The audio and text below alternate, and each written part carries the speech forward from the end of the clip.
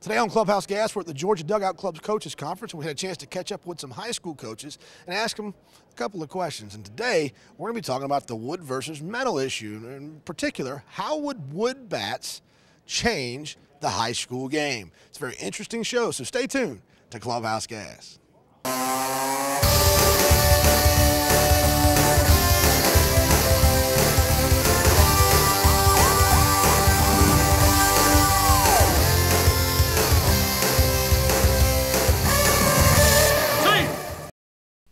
Uh, this song is called Opinion. It doesn't make as much of a difference as a lot of people believe. I think it'd be a pretty big impact. Uh, But I don't think it'd be a big deal for the kids. Uh, wooden bats would uh, definitely change the game a lot. They would, uh, I think it would slow it down a lot. Uh, go a lot quicker. It would slow it down. definitely uh, move the game along faster.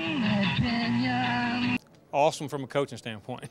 We get to coach again. We start hitting and running more. We start bunting guys up more.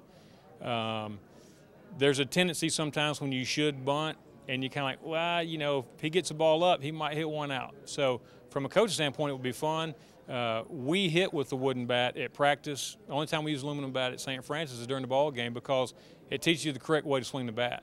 As far as using your hands, getting the bat out front, uh, I would love being an old professional baseball guy. I'd love to see wood bat. It would, uh, you know, you wouldn't have the big time home runs that you see now and everything. It would slow it down. People would uh, be bunting a lot more, um, but everybody would be on the, you know, same level. It'd be all equal. Um, I'd love to see that. When I first started playing, that's what we had was wooden bats. And uh, if everybody's doing it, then you know nobody has an advantage.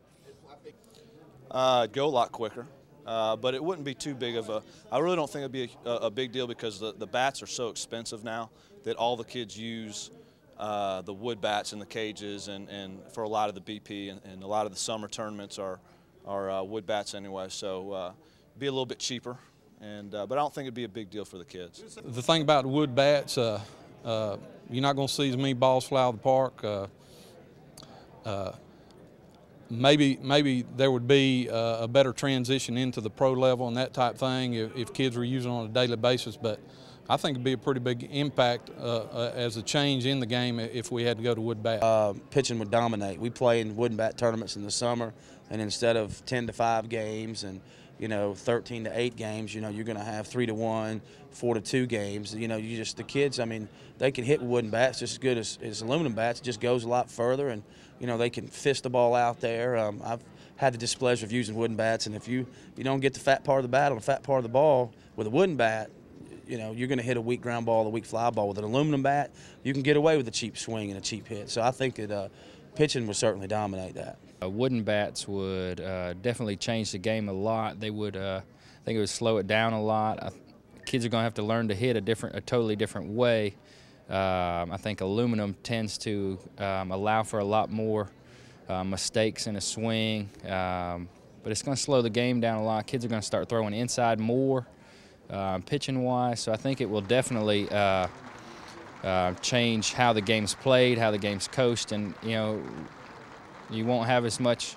Kids are going to have to get stronger, but I think that will benefit the game, you know, as far as strength wise.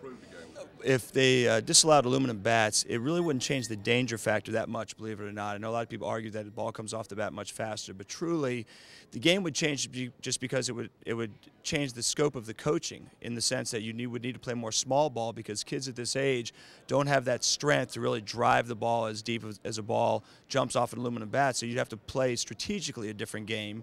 Um, you'd have to use a lighter bat. Uh, of course, there's a cost quotient involved there, which we wouldn't get into. But I really think the biggest argument is about the danger factor, and I truly don't think it is that much of a difference as far as the danger factor is concerned. I know that's probably going against the norm, but I really think that it, it doesn't make as much of a difference as a lot of people believe. I think it would be exciting. I'm, I'm biased, but uh, personally for wood bats, I think that's the way baseball uh, was intended to be played to begin with. Uh, I know cost is a factor, but to tell you the truth, with the uh, the way aluminum bats are going these days, the price is just continuing to skyrocket, and it, you know I, I don't see any end in, in sight. Um, I think wooden bats would definitely uh, move the game along faster. I know the kids are, uh, you know, would, would have a, have a tougher time getting the stats that they uh, that they want or, or think they should get. But you know, if they're going to go, I mean, for the elite ones that are going to play professional baseball, they're going to have to play uh, with a wooden bat So I say go ahead and let's do it. Uh, let's do it now. We can move the fences in or whatever it takes, but let's go ahead and play with the wooden bat. It's the way baseball should be. That's going to do it for us today. We really appre- appreciate the coaches hanging out with us and your time. We hope to see you right back here next time for another great edition of Clubhouse Gas.